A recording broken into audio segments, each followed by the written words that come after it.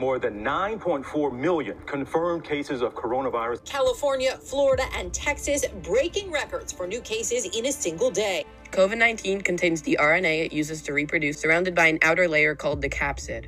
However, it needs another living organism, called the host, in order to reproduce. It will sit on surfaces or even stay in the air for hours, waiting for the unsuspected person to breathe it in or touch their face. Then, it uses the spike proteins on the outside of it as a key that attaches to ACE2. After attaching to the cell, it can inject its RNA inside of it. The cell will then start producing copies of the virus until it bursts from all the viruses inside it. These viruses will then go on to other cells and repeat the process. Cells like T cells and neutrophils will try to destroy infected cells, foiling the virus's plans.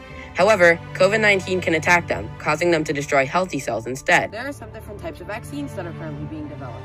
Here are just a few. Live vaccines use a weakened form of the virus that will cause an immune response while not causing disease. These are often the most effective vaccines, but they can be dangerous for people with weak immune systems. Inactivated vaccines use a killed form of the virus in order to cause an immune response to produce antibodies without actually causing infection. A COVID 19 subunit vaccine may contain the spike protein, the part that attaches to your cells and triggers your immune system, while not containing the RNA that it would have injected into the cell.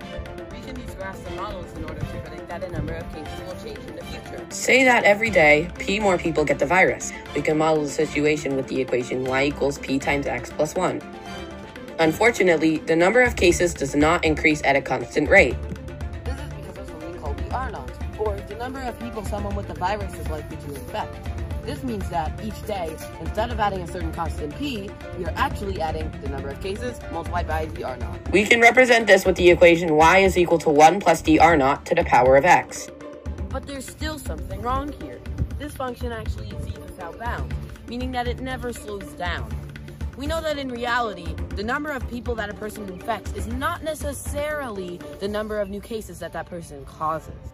If someone is reinfected, it won't actually increase the number of cases. And as the number of cases increases, more people are reinfected. So, while the number of infected people increases exponentially, the number of people who actually create a new case decreases arithmetically. We get something called a logistic graph.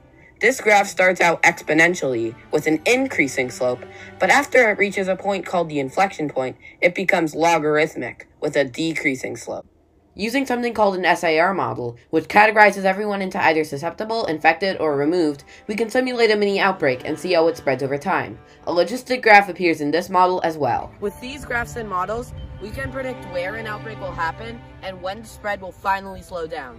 This can help us take preventative measures that can save lives. My name is Andrew. Thanks for watching.